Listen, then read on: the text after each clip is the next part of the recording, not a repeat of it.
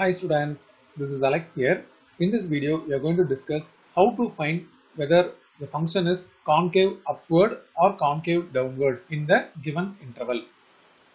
Concave upward is also known as convex downward. In the same way, concave downward is also known as convex upward. Now let's see what are the steps involved. First step, for the given function, we have to find its first derivative f dash of x and its second derivative f double dash of x. In second step, we have to equate f double dash of x to 0. Then we get x values. Suppose we are getting two values a and b. This value will come from the factors x minus a into x minus b. Suppose if this is f double dash of x and equating to the 0, we get two values. And in the third step, we have to take a number line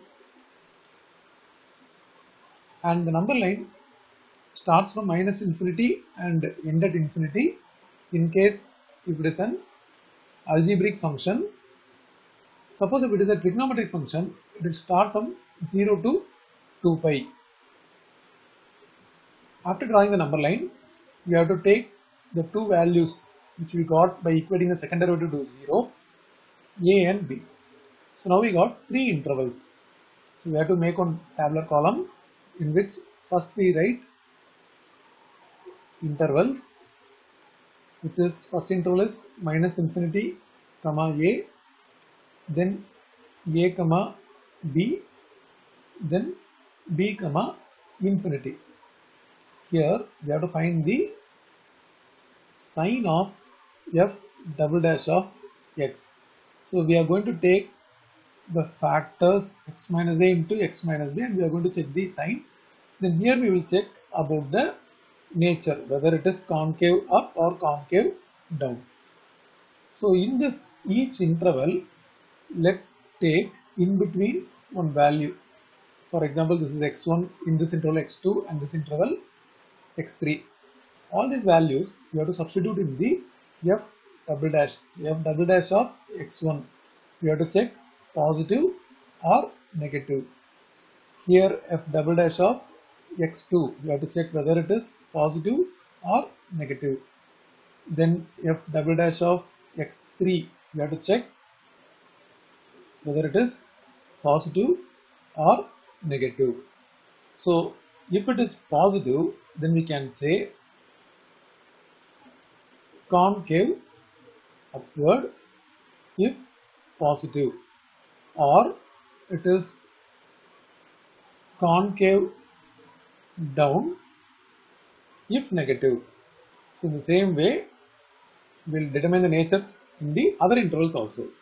In this way, we complete this box and in each interval, it is possible to for us to get whether it is concave up or concave down. It depends upon the sign of the f double dash of x. And the next step after finding where it is concave up and where it is concave down, we can find the point of inflection. The point of inflection is nothing but the point where it changes the nature whether it is concave upward to downward or concave downward to upward. So where it changes the nature. So here we got two points a and b.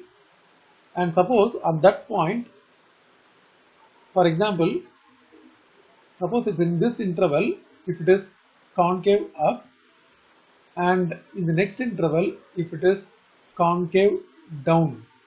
So here it is concave up here it is concave down. Since it changes the nature at the point A because this interval ends at A and here it starts at A. So at the point A it changes the nature for example, from concave upward to concave downward, then the point is called as a point of inflection. So it is possible to find the point of inflection after finding the interval where it is concave upward or concave downward.